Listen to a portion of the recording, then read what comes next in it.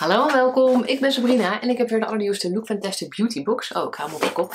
Dit is die van juli en ik heb zelf een 12 maanden abonnement. Dan betaal ik 15,50 euro per maand.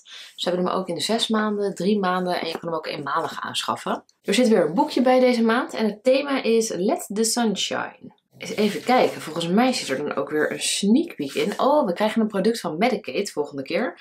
Er staat dat we de Medicate Hydrate B5 Intense krijgen. Ik heb van Medicate nu vaker dat Hydrate B5 uh, serum gehad. En dan zat hij alleen in een, uh, in een doorzichtig potje. Dus dit is de intense versie. Ik weet niet wat er heel erg anders van is, maar ik vond die andere echt heel erg fijn. Ik heb er twee potjes van gebruikt tot nu toe. Maar laten we nu gaan naar wat er deze maand in de box zit.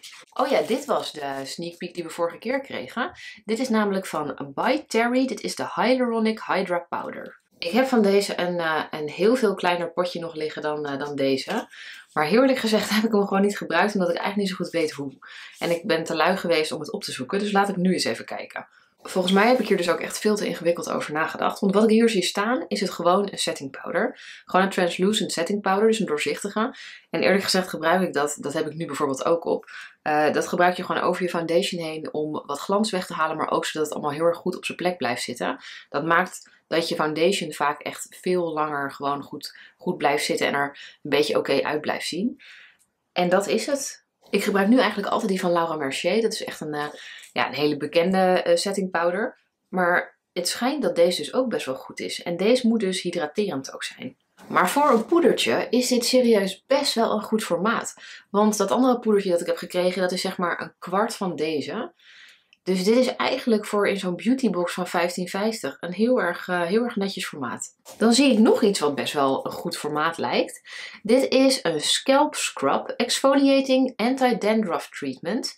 Clears and Soothes Dry Flaky Scalp. En het is 97% natuurlijk. Ik heb net het merk helemaal niet gezegd, want ik zag het helemaal niet op de pot staan. Maar het staat op de, op de deksel en dit is van Umberto Gianni. Er zit kokosnootolie in en er zit ook iets van, uh, iets van ananas-enzym in.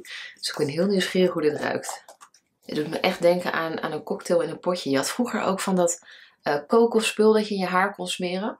En daar ruikt het ook een beetje naar. Maar je ruikt dus nog wat zoeter doorheen van, die, uh, van de ananas. Maar dit is dus gewoon serieus een pot van 200 milliliter. Maar dit gebruik je dus voor je shampoo. En er staat ook dat je het 5 tot 10 minuutjes moet laten zitten. En het derde product is van Foamy en dit is een shower body bar met papaya en oatmilk. Dit is dus een soort van massagebar.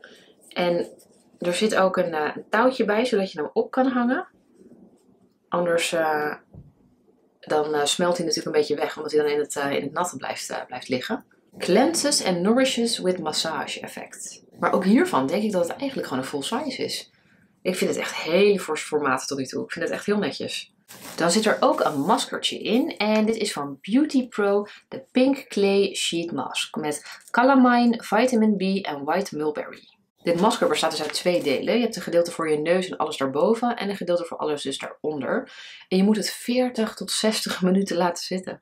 Het komt niet heel vaak voor dat ik 40 tot 60 minuten over heb. Dus ik weet niet hoe lang het gaat duren voordat ik deze ga gebruiken. Het is trouwens niet zeker dat je deze in je box krijgt. Want er staat dat je of deze krijgt of een Cetaphil Gentle Skin Cleanser. En het vierde product is van Mind10 en dit is de Replenishing Rapid Recovery After Sun Gel enriched with soothing aloe vera plus niacinamide. Ik dacht dat zij echt alleen maar zelfbruiners deden, maar dus ook After Sun. Dus even kijken, oeh, er komt heel veel uit. Het ruikt ook een beetje naar aloe vera.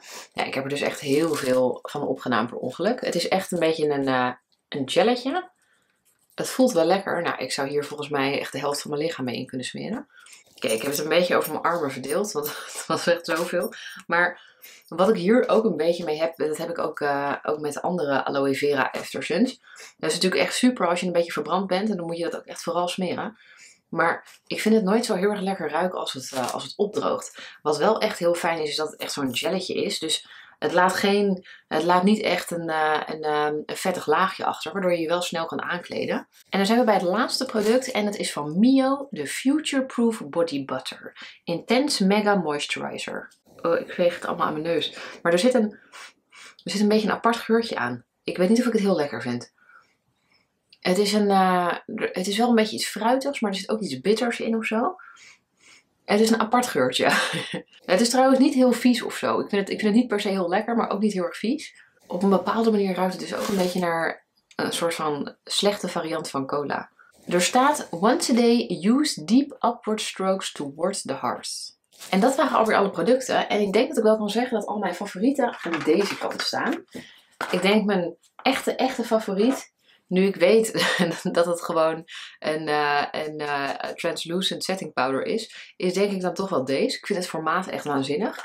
Nou, dit lijkt me ook best wel heel erg lekker om te gebruiken. En dit formaat vind ik ook echt waanzinnig. Ja, überhaupt. Ik vind dit voor 15,50 en ik heb het de laatste maanden echt keer op keer gezegd. Ik vind dat zij voor 15,50 echt zo niet normaal lekker bezig zijn met de producten die ze erin stoppen. Ik vind dit ook weer echt een hele leuke variatie aan producten. Want een setting powder krijg je niet heel vaak, omdat die vaak best wel heel erg duur zijn. Nou, scalp scrub, zo'n uh, zo'n body, uh, zo'n body bar, is natuurlijk ook, krijg je ook niet heel vaak. Ja, wat mij betreft weer echt een, uh, echt een hele leuke box. Dus dat was hem. Heel erg bedankt voor het kijken en tot de volgende keer.